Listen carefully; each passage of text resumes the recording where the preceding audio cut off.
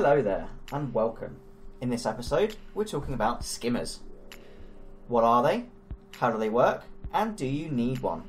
Well, firstly, we'll talk about what a skimmer is and what it does. In its most basic, a skimmer is a pump, a plastic tube of some sort, with a collection area on the top.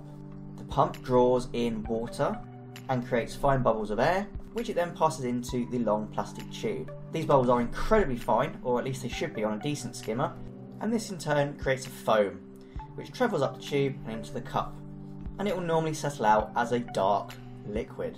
So that's basically what a skimmer is.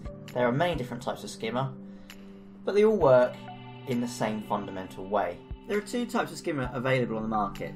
The first one is the type shown in this video, a self-contained unit which sits inside of the sump and normally has a pump inside or next to the skimmer unit itself. The other type are hang on the back skimmers. And these follow the same principle as the sump skimmers, however they're designed to hang over glass, so to be used either in an aquarium where there isn't a sump for a skimmer to be put into and hang on the side of the aquarium, or to save space inside of your sump for other equipment. So what is it actually doing?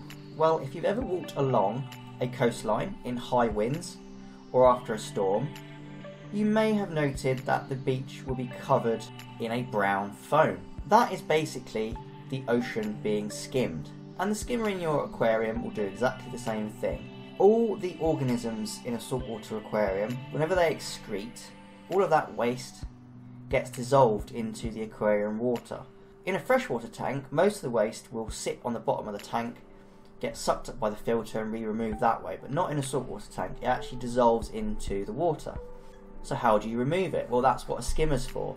So basically, as these fine bubbles are being created and moving around inside of that plastic tube, all the oils and nasties that are inside your aquarium water stick to the microbubbles and they create a foam which then gets transferred into the cup.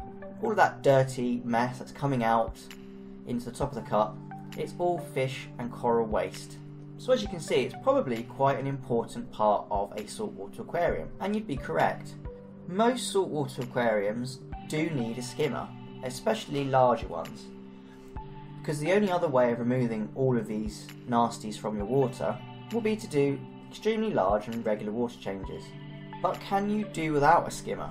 Well, I've done a few tanks without skimmers, and you can, but it does make life a bit more difficult in larger aquariums. However, in smaller aquariums, that being below 100 litres or so, I would say that running skimmerless is a very viable option because doing water changes at that size isn't an issue.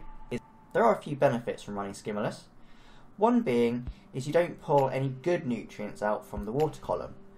When you are skimming the aquarium, as well as removing bad oils and waste from the tank, you are also removing some good nutrients and this can affect the vitality of your corals. But in general, running a skimmer is a pretty standard and necessary part of saltwater aquariums. But like I said, on small tanks, less than 100 litres, you can get away without running a skimmer quite easily. Not only that, but I have found that most of the, as they're referred to, nano skimmers don't actually do a very good job of skimming at all, especially those provided with saltwater tanks that are around 50 or 60 litres.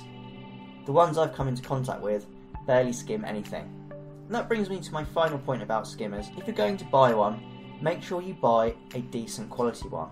There are many skimmers on the market, and you can get them fairly cheap. I've seen skimmers for around £60, but they are absolutely rubbish. They look like skimmers, however, their performance is inadequate.